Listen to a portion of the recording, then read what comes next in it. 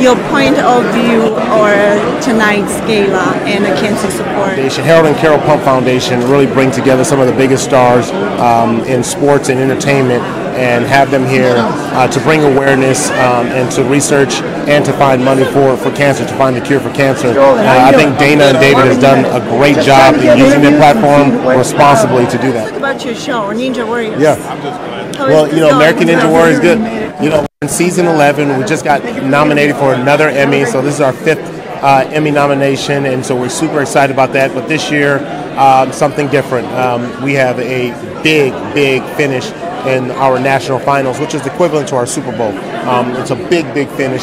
And Sounds exciting. yeah, yeah, so we're super excited about that. Uh, a viral moment, um, but I, I think the show has been so inspirational. People just kind of like what they do here, as far inspiring other people to give back, use their platform responsibly to help find a cure for cancer. Um, but Ninja Warrior has been that has inspired people who've overcome for cancer and then tried the course. It has been great. So uh, it's been a blessing to me to be the host of American Ninja Warrior, myself and Matt Iseman, and um, yeah, I'm, I'm excited to be here. Excited to watch the show. Yeah, Uh, Monday nights on NBC. Monday night. uh, career advice. Uh, what would you say?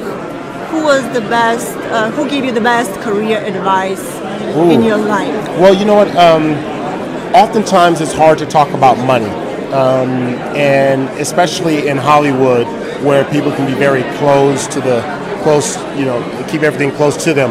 And I remember as I was going through contract negotiations, um, making this swap from the sports world from the NFL, then making my you know my transition into entertainment. And I remember reaching out to a virtual stranger and Anthony Anderson.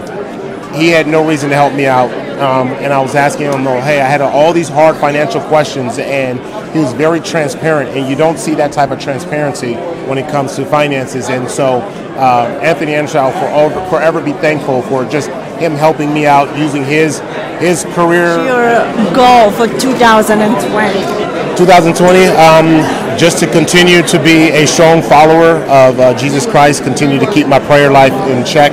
Um, you know, sometimes success and uh, the, the, the lights and all this other stuff can keep you distracted. Um, so I think that's to me is right. Is just to be able to stay centered and focused. Stay focused. Yeah, yeah, stay focused. Awesome. Yeah, yeah. Well, thank you so much for your Thank you. interview. Shout out. This is Akbar Gbajabiamila from American Ninja Warrior, and you're watching News of the World.